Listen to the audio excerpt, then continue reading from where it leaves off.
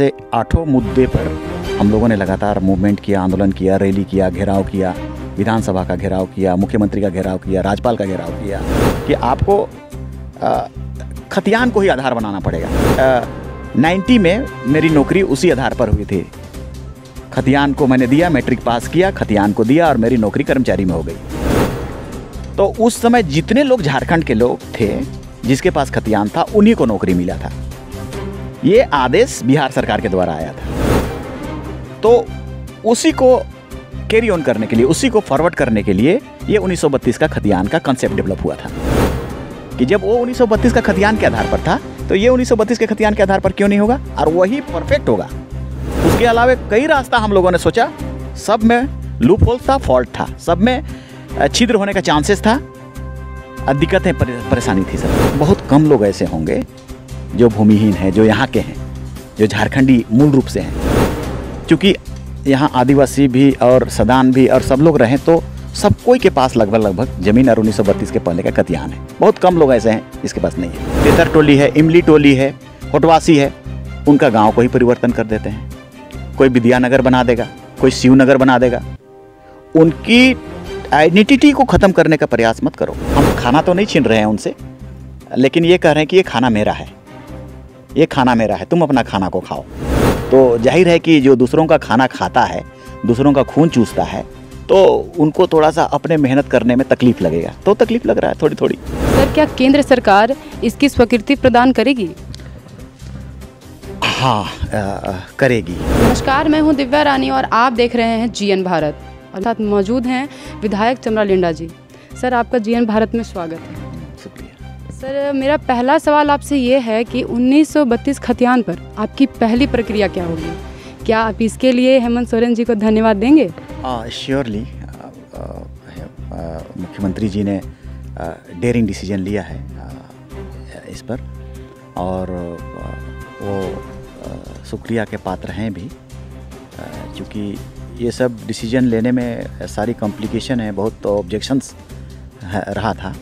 आ, मगर सबकी स्वीकृति से या अपने मन से या अपने डिटर्मिनेशन से उसने डिसीज़न लिया है। और शुक्रिया के पात्र हैं, धन्यवाद के पात्र हैं। और इसमें सारा झारखंड प्रदेश के लिए एक बेहतरी है, एक सेफ़ गार्ड है। झारखंड प्रदेश को सेपरेट होने के लिए भी करने के पीछे डिमांड भी यही था और पर्पस भी यही था कि ये स्टेट अलग होगा तो यहाँ के लोगों को जो डिप्राइव्ड हैं, यहाँ के लोगों को नौकरी नहीं मिल रही है, यहाँ के लोगों का अपनी जो सिस्टम बच नहीं रहा है, पलायन करते हैं, नौकरी नहीं है, शिक्षा नहीं है तो स्टेट को सेपरेट करो। तो स्टेट सेपरेट करने की मांग तो 1950 बावन से ही हो रही है। तो उसका परिणति अभी आया है। सर मेरा दूसरा सवाल आपसे ये है कि 18 नवंबर 2000 को वो मंजर कैसा था जिसके लिए आपको सर ये जन क्रांति छेड़नी पड़ी थी? एक्चुअली ये भावना पैदा हुआ था झारखंड सेपरेट का डिमांड से ही हुआ था। क्योंकि यहाँ के लोगों को जॉब से वंचित होते थे यहाँ पलायन लोग करते थे। गरीबी था। आदिवासी लोगों का पॉपुलेशन यहाँ पर ज़्यादा था बट डेवलपमेंट नहीं हो रहा था। इसलिए सेपरेट झारखंड के रूप में डिमांड किया था। सौ पचास से ही ऐसा मांग शुरू हो गया था। तो उसकी परिणति थी झारखंड स्टेट होने के बाद। तो हम लोग तब तक आदिवासी छात्र संघ को क्रिएट कर चुके थे। इसलिए जो ये पर्पस था उसको लेने के लिए, उसको प्राप्त करने के लिए हम लोगों ने 15 नवंबर 2000 को स्टेट अलग होता है। तो 18 नवंबर 2000 को हम लोग बाबूलाल जी मुख्यमंत्री थे। उनके सामने में प्रस्तुत किया और रैली करी। 18 नवंबर को रैली करी। 19 नवंबर को बाबूलाल जी के पास हम लोग प्रस्तुत किया और बोले कि इस डिमांड को आपको पूरा करना पड़ेगा। क्योंकि आपको जो झारखंड मिला है, वो इसी पर्पज़ को फुलफ़िल करने के लिए मिला है। आपको यहाँ 1932 का खतियान को लागू करना पड़ेगा। इसलिए लागू करना पड़ेगा, क्योंकि तभी हमारा झारखंड अलग होने का पर्पस पूरा होगा। हम इस विषय में और चीज़ों को सोच रहे थे कि कौन सा ऐसा चीज़ होगा जो एक घेराबंदी करेगा, जो इन्फ्लक्स हो रहा है बाहरी, क्योंकि हम लोग उस समय तक बहुत सारा प्रॉब्लम फेस कर रहे थे। क्योंकि जितना इंडस्ट्रियलाइजेशन यहाँ पर हुआ था, उससे बहुत इन्फ्लक्स हो गया था। एच बना बोकारो बना जमशेदपुर आया। बाहर से पब्लिक बहुत ज़्यादा आ गए थे। तो यहाँ के लोग वंचित होते जा रहे थे। तो हम लोगों ने सोचा इसको कि कौन सा ऐसा चीज़ होगा, कौन सा चीज़ ऐसा रखा जाएगा, कौन सा क्राइटेरिया रखा जाएगा? मेरे दिमाग में ये चीज़ को मंथन हम सबने किया। एक बार तो मेरे दिमाग में आया कि नहीं, उन्नीस सौ इक्यावन का जनगणना को हम लोग रखते हैं। डिमांड करते हैं। बाबूलाल जी से यही बात को करते हैं कि इसको आप रखिए और सेपरेट कर दीजिए। तो यहाँ के लोगों को फिर बेनिफिट होगा। बट फिर उन्नीस सौ इक्यावन का जनगणना भी अनफिट लगा क्योंकि वो उचित नहीं था क्योंकि उस समय तक 1908 से ही लोगों का आगमन यहाँ प्रारंभ हो गया था और उनका वर्चस्व बन चुका था। हम्म, तो इसलिए मेरे दिमाग में तो यही आया कि कि खतियान ही सबसे बेहतर होगा। सर इसमें तो, आपने एक चीज़ और कहा था कि अपने अप्रू चपरू गंगा पार। तो इसमें सर आप क्या बोलना चाहते हैं? हाँ लोगों के दिल दिमाग में ऐसा था ये शोषक वर्ग हैं दिकू हैं। क्योंकि 18 नवंबर को हमसे पूछा भी गया दिकू आप किसको बोलते हैं? प्रेस के द्वारा पूछा गया था 18 नवंबर 2000 को। जिस दिन हम लोगों ने रैली करके इस डिमांड को रखा था तो पूछा गया था कि पुरुष छपरू गंगा पार कह रहे हैं कि इसको आप बोलते हैं ऐसा? तो हमने यही बात कहा था कि, देखिए, ज़्यादातर बाहरी लोग आए हैं तो शोषण और शोषक वर्ग के हैं, ज़्यादातर लोग। तो इसलिए हम लोग चाहते हैं कि वे लोग जब आए हैं तो अब वो लोग वापस चले जाएँ। अब झारखंड अलग हो गया तो आप अपना मूल राज्य चले जाइए। अब यहाँ के लोगों को उनका हक लेने दीजिए। जब तक आप यहाँ थे, तब तक अपने लिए, अपने बच्चों के लिए, अपने परिवार के लिए आपने बेनिफिट किया, फ़ायदा लिया। इसलिए हम लोगों ने कहा था अपरू छपरू गंगा पर आप जाइए वापस। अपनो चांसेस फॉर यू तो यही बात हम लोगों ने कहा था उन लोगों को। और इसका एक विवाद हुआ भी। तो उसका रिएक्शन भी हुआ, मगर हमारे दिमाग में ये चीज़ था कि अपरू छपरू गंगा पार को जस्टिफाई करने के लिए क्लेरिफाई करने के लिए फाइनलाइज करने के लिए क्या चीज़ बेहतर होगा? खतियान ही बेहतर होगा। क्योंकि ए राइट ऑफ़ रिकॉर्ड्स उनके पास ना होगा। अगर वो बिहार का है, अगर वो यूपी का है, अगर वो उड़ीसा का है तो उनका पहचान वहाँ का, उनका ज़मीन का बना है उस स्टेट में। इस स्टेट में नहीं बना है। वही रोक सकता है। वही घेराबंदी कर सकता है। और वही आइडेंटिफाई कर सकता है कि तुम कहाँ के होते हो, तुम कहाँ के हो। और तब इसी के द्वारा हम यहाँ के लोगों को प्योरली बेनिफिट पहुँचा सकते हैं। अदरवाइज़ और दूसरा कोई भी सोर्सेस कोई भी रास्ता होगा, उसमें छेद होगा, रास्ता बनेगा। और कई तरह की कन्फ्यूज़न आएगा उसमें और लोगों का आगमन आ जाएगा। तो इसलिए हम लोगों ने क्लियर कट डिमांड रखा बाबूलाल जी से। रैली के माध्यम से भी और 2002 में भी 2001 में भी, जब तक 2003 में डोमिसाइल की जो मूवमेंट होती है, तब तक हम लोग इस मामले इस मामले में और भी था। आदिवासियों के विषय में सरना कोड देना होगा सीएनटी एक्ट लागू करना होगा, दोगला आदिवासी को ठीक करना होगा और भूरिया कमेटी को लागू करना होगा। छः हमारा डिमांड होता था जब 2000 से आदिवासी छात्र संघ 8 जुलाई 2000 को बना। उसके बाद से आठों मुद्दे पर हम लोगों ने लगातार मूवमेंट किया, आंदोलन किया रैली किया, घेराव किया, विधानसभा का घेराव किया, मुख्यमंत्री का घेराव किया, राज्यपाल का घेराव किया मोराबादी मैदान में रैली की। तो इसकी परिणति आई है और इसलिए हम लोग हेमंत सोरेन जी को धन्यवाद देंगे ही देंगे। और उनके डिटर्मिनेशन का भी हम लोग तारीफ़ करेंगे। उसने किया। और उनको करना भी चाहिए क्योंकि यहाँ के लोगों की जन भावना के मुताबिक यहाँ के लोगों के लिए ही आ, वो मुख्यमंत्री बने थे यहाँ के लोगों के सपोर्ट के लिए ही मुख्यमंत्री बने थे। आ, उनके पिताजी जो शिबू सोरेन रहे उनके इंस्पिरेशन से यहाँ बने थे। हम लोग भी इंस्पायर्ड रहे थे। अ, उनसे उसी के कारण हम लोग मूवमेंट झारखंड बनने का जैसे ही पता चला कि अब झारखंड बनने वाला है तब से ही हम लोगों ने जो मूवमेंट स्टार्ट किया तो उसमें उन लोगों का इंस्पिरेशन जो हमारे पहले आंदोलन किए थे रैलियाँ की थी, मांग रखी थी, जयपाल सिंह मुंडा के समय से भी, फिर शिबू सोरेन जी आए, फिर कार्तिक उराव जी भी आए। तो सभी लोगों का इंस्पिरेशन हम लोगों पर था, इसलिए हम लोगों ने आदिवासी छात्र संघ का क्रिएशन किया और क्रिएशन करके इन डिमांड के थ्रू में, जैसे ही पहला मुख्यमंत्री बनते हैं, बाबूलाल मरांडी जी, उसके सामने इन छः सात मुद्दा को हम लोग रख करके, और इस पर विशेष हम लोग इसमें फोकस किए कि आपको खतियान को ही आधार बनाना पड़ेगा। क्योंकि मेरे दिमाग में ये चीज़ था, हम कई तरह का विश्लेषण कर लिए थे इस पर और अगर हम कहते हैं कि 1950 के बाद का होना चाहिए तो उसमें भी बहुत सारा लूप होल्स हो जाएगा। अगर हम भाषा को मानते हैं तो भाषा तो कोई भी सीख लेगा। और भाषा सीखेगा और बाद में उसमें फिर से एंट्री कर लेगा। संस्कृति को सीखते हैं तो संस्कृति भी दिक्कत होगी, परेशानी होगी, वो भी क्लियर कट नहीं होगा। हम लोग इतना जानते थे कि प्रत्येक स्टेट को उसका डोमिसाइल बनाने का राइट है। इसीलिए हम लोगों ने बाबूलाल जी से कहा कि ये ये बनाना है, आपको किसी भी स्थिति में करना है। तो नहीं बनाएँगे तो मूवमेंट करेंगे चक्का जाम करेंगे रैली करेंगे।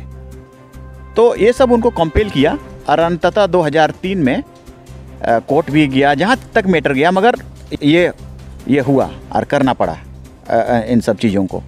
तो हम लोग हमारे दिमाग में विशेष तौर से एक भाव, एक विचार उसको भी हम लोगों ने रखा जो हमारे जानकारी थी। उन्नीस में बिहार सरकार ने झारखंड को स्पेशली ख्याल में रखते हुए, इस पार्ट को ख्याल में रखते हुए उसने एक आधार बनाया कि खतियान को आधार लो और उसी आधार पर वहाँ के लोगों को नौकरी दो। तो हम, हमें पता था उस चीज़ को, क्योंकि नाइन्टी में मेरी नौकरी उसी आधार पर हुई थी। खतियान को मैंने दिया, मैट्रिक पास किया, खतियान को दिया और मेरी नौकरी कर्मचारी में हो गई। तो उस समय जितने लोग झारखंड के लोग थे, जिसके पास खतियान था, उन्हीं को नौकरी मिला था। ये आदेश बिहार सरकार के द्वारा आया था। तो उसी को कैरी ऑन करने के लिए, उसी को फॉरवर्ड करने के लिए ये 1932 का खतियान का कंसेप्ट डेवलप हुआ था। कि जब वो 1932 का खतियान के आधार पर था तो ये 1932 के खतियान के आधार पर क्यों नहीं होगा? और वही परफेक्ट होगा। उसके अलावा कई रास्ता हम लोगों ने सोचा। सब में लूप होल था फॉल्ट था। सब में छिद्र होने का चांसेस था। दिक्कतें परेशानी थी सब में। इस दौरान मैं पूछना चाहती हूँ कि झारखंड के भूमिहीनों का क्या होगा इसके बाद?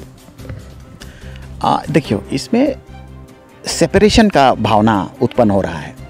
सेपरेट करना है। ज़ाहिर है, पहली बात तो जिसकी ज़मीन नहीं थी, वो झारखंडी नहीं होंगे। कई लोग आ गए हैं उसमें। तो अब रह गया कि जिसके पास ज़मीन नहीं है, वो बाहर के हैं या यहाँ के हैं। उसको क्लियर करना। तो उसको क्लियर करने के लिए सपोज़ दैट बहुत कम लोग ऐसे होंगे जो भूमिहीन हैं, जो यहाँ के हैं, जो झारखंडी मूल रूप से हैं। क्योंकि यहाँ आदिवासी भी और सदान भी और सब लोग रहें तो सब कोई के पास लगभग लगभग ज़मीन और 1932 के पहले का कतियान है। बहुत कम लोग ऐसे हैं जिसके पास नहीं है। तो वैसे लोगों को लास्ट टाइम में ग्राम सभा आइडेंटिफाई करेगी ऐसा एक प्रावधान बना था।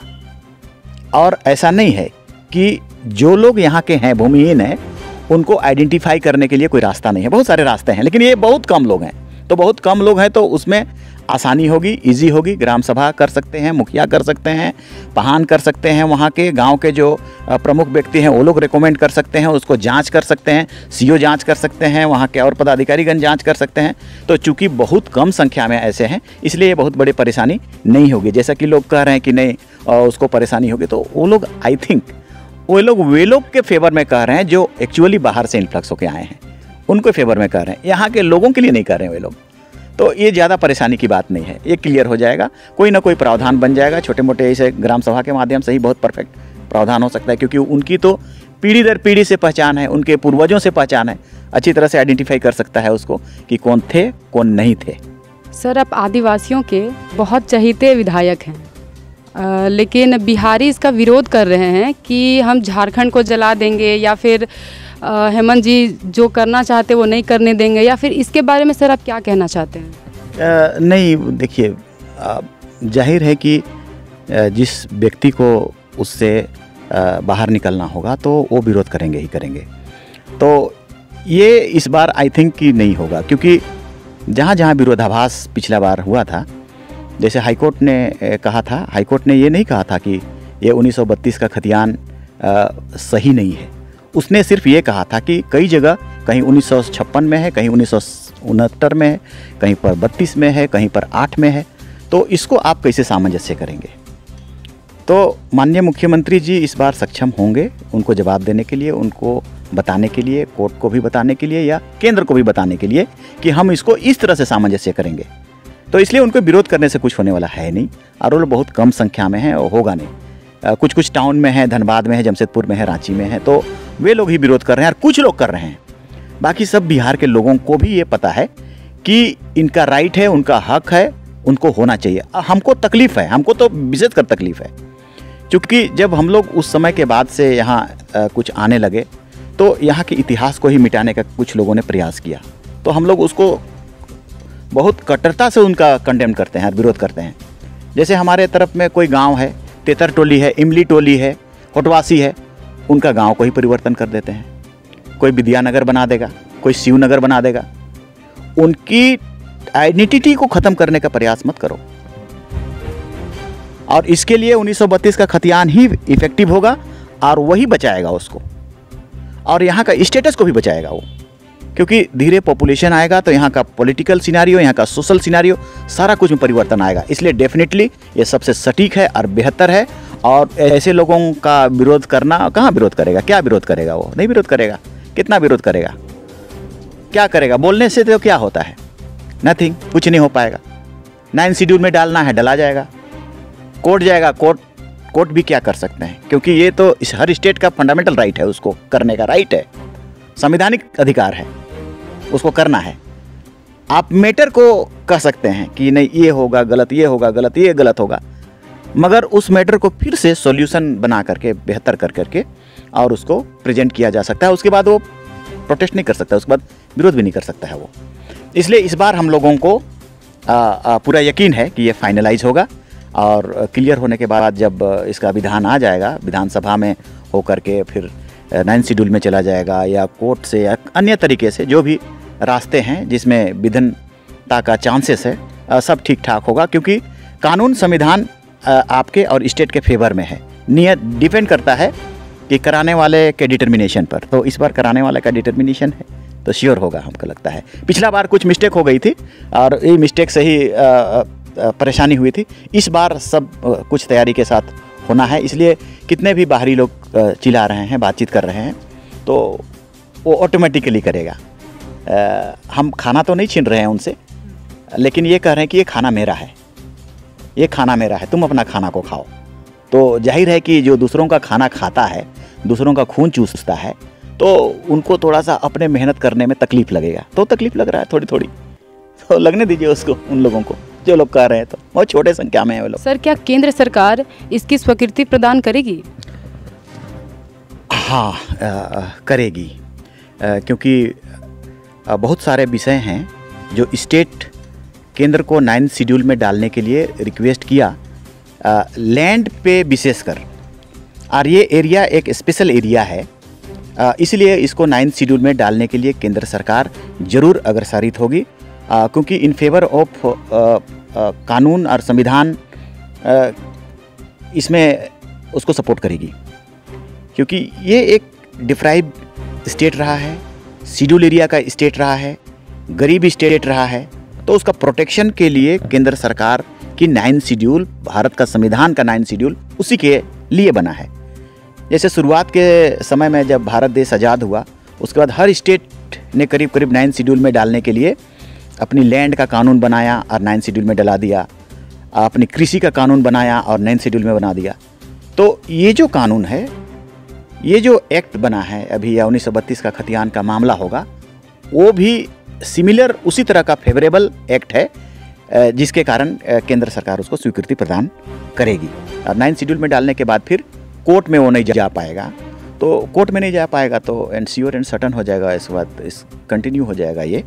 आई थिंक इस पर कोई अड़चन आना नहीं चाहिए, दिक्कतें नहीं आएँगी।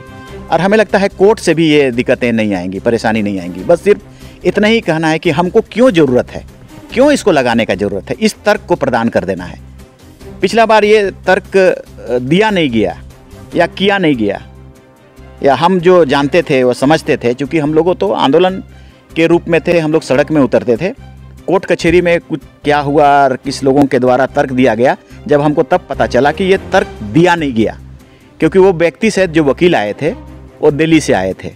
तो दिल्ली वाले व्यक्ति नहीं जान पाएँगे कि झारखंड में स्थिति क्या है? झारखंड के लोगों का स्थिति क्या है? झारखंड की गरीबी क्या है? या यहाँ प्रोटेक्शन किस तरह से दिया जाएगा?